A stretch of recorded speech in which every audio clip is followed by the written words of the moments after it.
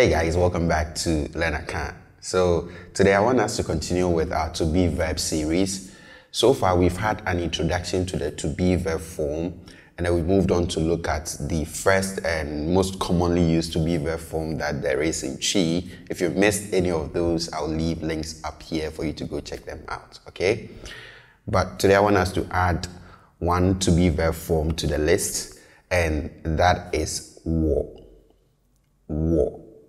Wɔ. And like I said in the other lesson, um, the tone on all the to be verb forms that you are going to be looking at is on the lower side. Okay, so if you are pronouncing the um, to be verb forms, be sure not to raise your tone because if you do, you might end up saying something completely different. Okay, so in this case, for example, if I say this with a higher tone, if I say what, what, that can mean to pound. Okay, to pound and not the to be verb form that we are looking at. All right, so you have what low tone. And this to be verb form is what we use to describe the location and existence of things or people.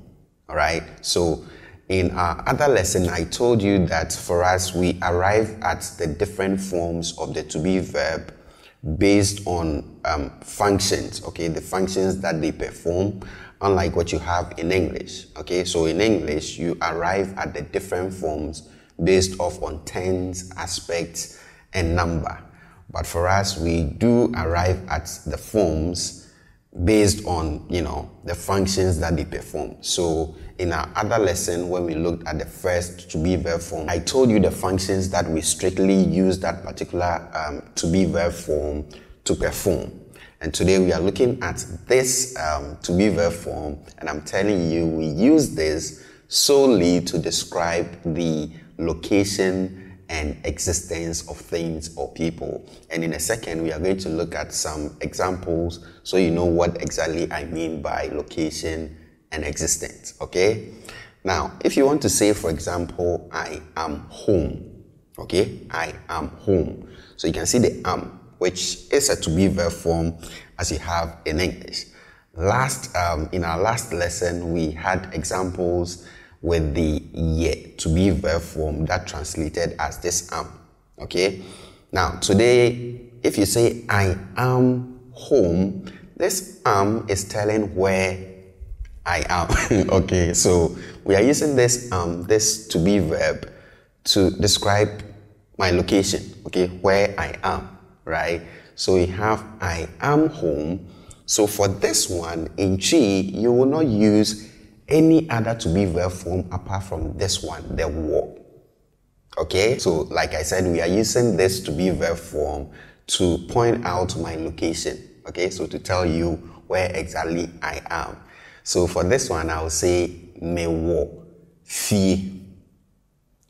Me wo fie. Wo fie. And like I mentioned in our other lesson, um, this wo is a verb, right? And I said if you are using a verb in such a way that it comes directly after a subject pronoun like the me here, then you need to combine the subject pronoun with the verb into a single unit in writing. So that is why we have the me wo together. All right. But then if you are not using a subject pronoun, so for example, if you are using an actual name, then you need to split it. Okay. You cannot combine a name with a verb. So for the same example, if I switch the subject pronoun for an actual name like Kweku, for example, then I'll say Kweku wo fie. Okay? Kweku wo fie. So I split, you know, the subject, noun, and the verb. All right? So we have Kweku wo fie. And again, I told you that for us, whether the subject is singular or plural, we still use the same to be verb form, All right. So we have kweku here, but if we add another subject to it so that we have a plural subject, so for example, if I say kweku ne ya, for example, okay, so we have kweku ne ya, we will still use the um, same form of the to be verb, which is wo. Okay, so we have kweku ne ya wo fi kwaku ne ya wo fie kwaku ne ya wo fi. Let's see another example. We have onyankopon wo ho. Onyankopon wo ho. Onyankopon wo ho. So we have onyankopon as God, and then we have the wo to be, but this time around, this is describing the existence of God.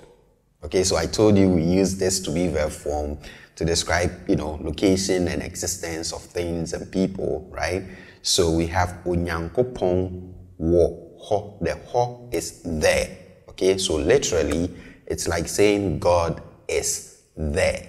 Okay, so you know, God exists, right? So we have onyankopon wo Similar to this example, we can have. Enidasoɔ wɔ hɔ. Enidasoɔ wɔ hɔ. So we have enidasoɔ as hope, all right? And then we have wɔ hɔ. I told you hɔ is there. So literally you are saying hope is there, but you are just saying there is hope, all right?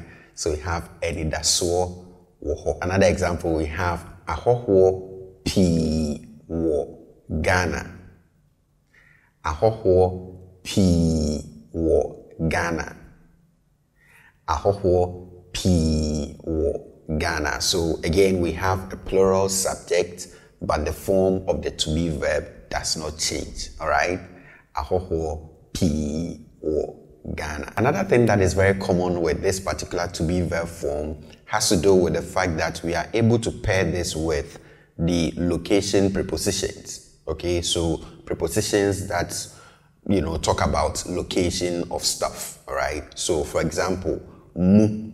Okay, mu is in or inside. Right. So it talks about the location of something. Right. We have so, which is top. Right. So on top of something right? We have in chain, which is the side, okay, the side of something.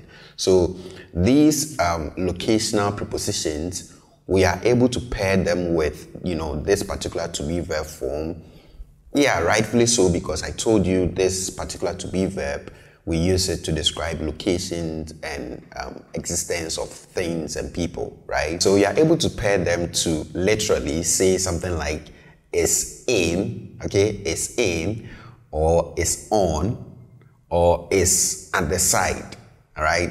Let's see some examples. So I can say, for example, nsuo wo ankre numu.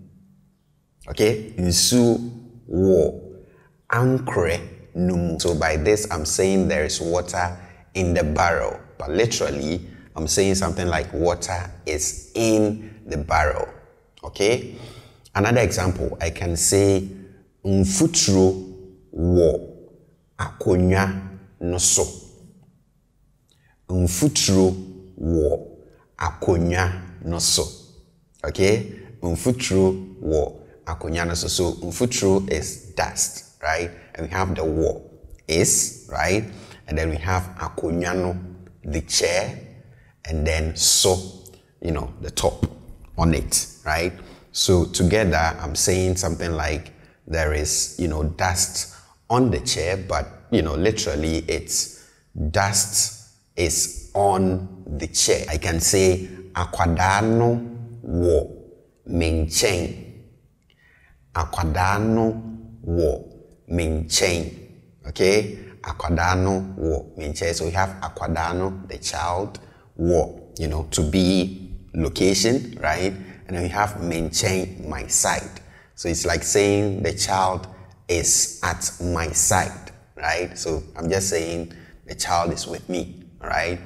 Akwadano wo maintain. One last thing that you need to take note about this um, location stroke existence to be verb has to do with the fact that if you use this and the location that you are talking about is a country or a city, then you don't need to add the location preposition to it. Okay, I see many mistakes made with you know this, and please take it now that if you use the location stroke existence to be verb, and the location that you're talking about is a country or a city, don't use any you know, additional location preposition like the okay, with this, all right? So in English, you can say, for example, my mother is in Kumasi, all right?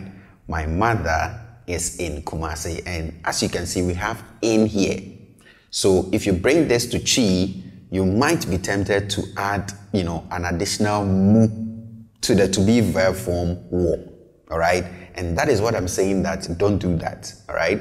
So for this one, if I bring it to Twi, I'll just say me maame wo kumase. Okay? Me maame wo kumase. You don't have to add the mu to it again. If you do that, you mess it up. Okay? So you have me maame wo kumase. All right? Me maame wo kumase. So in the same vein, I can say me papa wo America, for example. Me papa wo America. I don't have to add mu to America. Okay? Don't do that. So you have me papa wo America. So as long as you are talking about, you know, a country or a city, please do not add the additional location preposition to it. Okay? This is where we end today's lesson. As always, thank you guys so much for watching, and I hope to catch you in the next one. It's bye for now.